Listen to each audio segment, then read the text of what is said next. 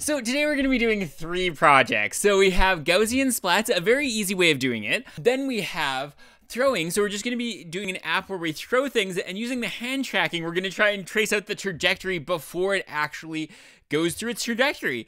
Um, and then finally, we're going to be doing some ports from SimonDev. So there's a bunch of really awesome JavaScript projects online in Three.js, and it's really helpful to know how to convert those over into WebXR for the Quest 3. Gaussian splatting is super exciting and it's also gotten so much simpler. Uh, so it used to be like that you had to do all this extra math and stuff, but like it, now it's like it's like half a page of work and most of it is actually building the splat. So I'm just going to show you off quickly. Like this is the entire web page that we need to use. So it's basically just importing a model. So because it's so simple, I, I, I just want to talk about how to get a Gaussian splat. So uh, there's two major steps to getting a Gaussian splat. So you have Colmap and then we have the running the Gaussian splat repo. So if you you have some sort of video, you can just break down the video into all of its individual frames, get a subset of those frames. So like every five seconds, get a frame. Um, you can do this with FFmpeg. Um, and once you do that, uh, you can get use Colmap to get the position of all of the cameras. Then you can just go over to the Gaussian Splat repo and just run it. And it, it's all pretty straightforward. Um, like the installation is probably the most challenging part.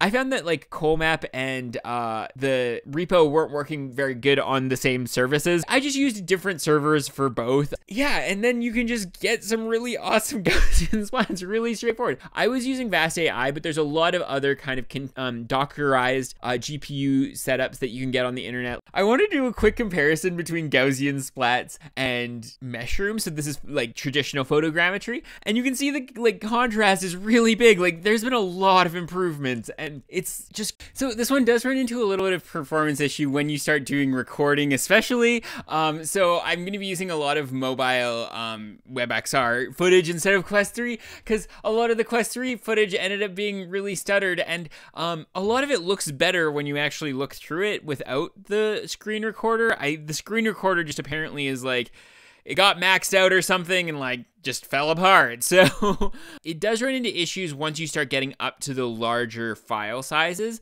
If you don't have a full 360 of the image in question, you can still make a Gaussian splat with it. Um, but it, it, does, it is like a directional Gaussian splat. Like as you move further away from the angles that you took it at, it starts looking worse. But this can be a really big advantage for like if you have mountains in the distance or things that you're not going to get near to anyways, uh, because you don't need to have like a full 360 of the mountains in the background. Like uh, I think in a lot of ways, this is actually a really really good advantage for with normal photogrammetry you end up structures that don't converge and then it just all falls apart. So like i think this is actually an improvement over that.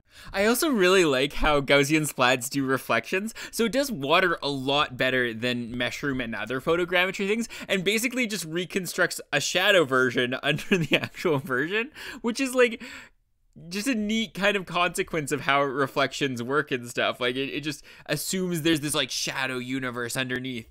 Um and yeah i just i, I appreciate that. Um and it looks really realistic because that, that's kind of in a sense like what their like a reflection is another nice addition is that there's these really nice gaussian splat editors and they allow you to do things like remove extra gaussian splats and orient your gaussian splat to be the like right way up um and that just allows things to be simpler down the line uh gaussian splats oftentimes they create like these smoke or sky um, extra splats, and th- those are really annoying to deal with. So just being able to like quickly cut them out and delete them really cleans up your your um, Gaussian splat and makes it look a lot more premium.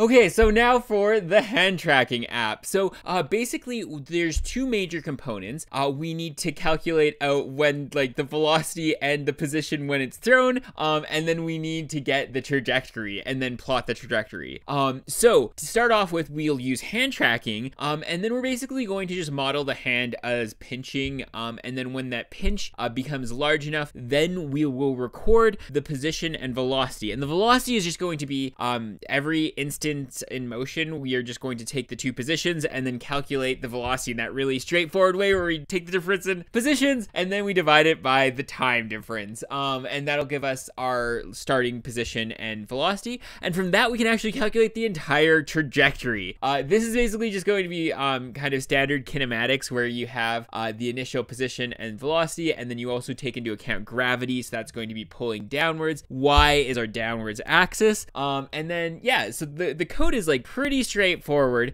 Um, there are so many ways that you can improve this. This is not like so in in particular uh, when we're doing velocity measurements uh, because we're taking it from instance to instance um, in a discretized system that creates a lot of noise and it creates a lot of extra error. So that's something that is going to cause extra problems. Um, also, when we are doing the trajectory, uh, we are doing instances. Um, also, the throwing, like the actual pinching. Um, one of the things that I didn't realize before starting this is you can you can just throw things with your fingers. Like you don't need to use your whole arm. If you flick it, flicking um actually can you can flick things really far, and it, it's almost entirely finger energy. Um, and so that's something that like um our system is not modeling that really well. It's only really modeling the energy from like the arm really well. So like that kind of just like using your fingers to let go of things rather than throwing things with your fingers. Um, and there's so many extra ways that you can do the modeling of the hand and kind of throw. There's so many different ways of throwing that like this is a really simplistic method. Um, I just yeah, um, this is a good way of getting started, but there's probably a lot of ways that you can expand upon this. So for this next project, uh, I'm going to be porting one of SimonDev's projects into Quest 3. Uh, there's so many awesome Three.js tutorials on the internet, and almost all of those can be converted over into Quest 3 pretty straightforward, like in a pretty straightforward way. So in particular, we're going to be using the star, like the battle star thing. Uh, yes, the battle star thing. Um, so for, yeah, so when you're porting from Three.js into Quest 3, uh, there's going to be a few different steps that you need to undertake. Uh, to start off with, you need the um, XR button. So uh, you can just import that, and then you also need to enable it in the renderer. So after that, there's three core elements that are going to change. All of the HTML elements are not going to be available in the same way, so you're going to have to think of some way of rendering those. We're just going to ignore that for today. Then you have to figure out the control mechanisms. So normally you have some sort of like keyboard or some sort of control thing that you're going to have to consider how you're going to do that. Uh, and then finally, we have the scaling. So all of our scenes in uh, Three.js scene, like a lot of times you just scale it to what's appropriate for like the camera distance and stuff. And so usually a lot of times you use like hundreds of units of measurement, uh, but but those don't convert well to metric. So a lot of times you have to scale down all of your models and all of your like any sort of like graphical thing like you tend to have to scale down. Um, it's really nice if you just choose a static number like um on a hundred scaling, um, and then just use the scale laws and just bring all your things down the size. And then that's pretty much it. Like those are those are kind of the three things that you have to consider, and then you just need to add the button, and that's basically it. Thanks and have a great day!